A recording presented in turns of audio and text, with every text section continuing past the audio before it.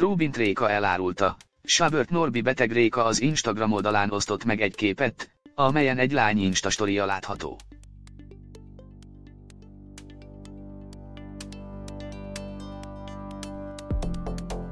A fotón Sabört Norbi szerepel és a leírás szerint az orvosnál találkozott vele.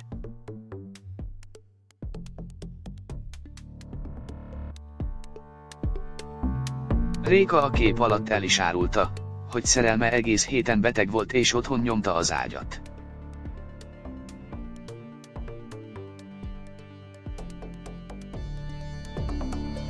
Jobbulást kívánunk neki!